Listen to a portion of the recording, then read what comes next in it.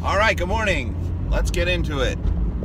It's time for a two minute tirade on poker. So, we've all been there.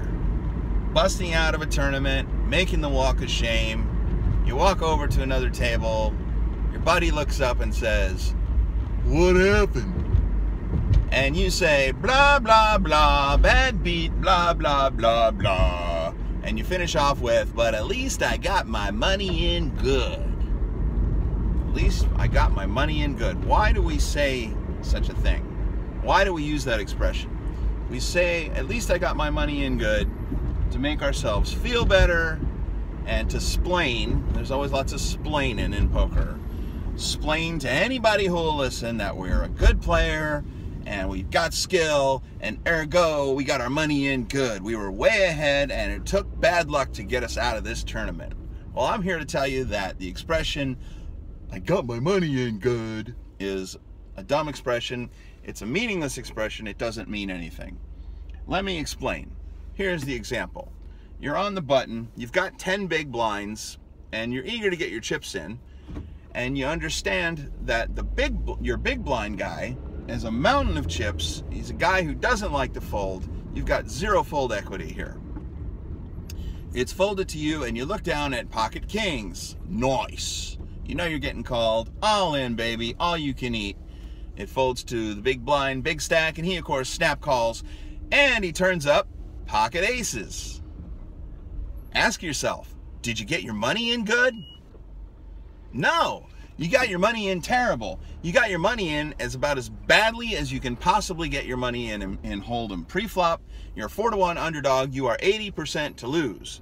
So then what does that expression, I got my money in good, mean here? It means nothing. You got your money in bad, but think about it. Are you really folding pocket kings in this situation? For that matter, are you really folding any pocket pair in this situation? I don't think so. So I think the expression I got my money in good here doesn't really make sense or apply, and I think that's true across the board.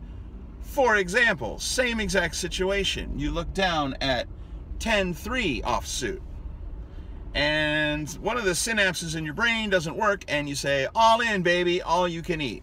10-3 offsuit is a terrible, terrible hand. It's in the bottom 5% of hands. You shouldn't be shoving here because you know you're getting called. So yeah, it folds over to the big blind, and of course he calls, he snap calls, but he didn't even look, and he turns up 10 deuce off suit.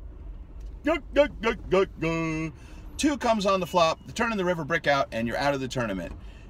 Do you walk over to your buddy and say, hey, at least I got my money in good? Well, it is true, you got your money in good. You got your money in as a big favorite. That's like a 65, 35 or something like that. That's a terrible play. So you're making yourself feel better and you did lousy. So once again, this expression, at least I got my money in good, terrible expression. It, it's meaningless. It's pointless. Ban that expression. Don't focus on results. Don't focus on things you can't control. Focus on making the best decision you can.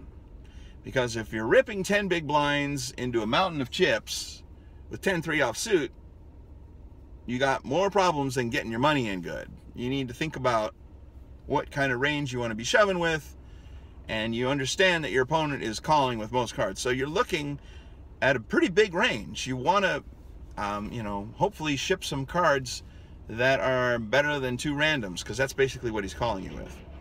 Anyway, that's it for now. Two minute tirade turned into four minutes, but there it is. Peace.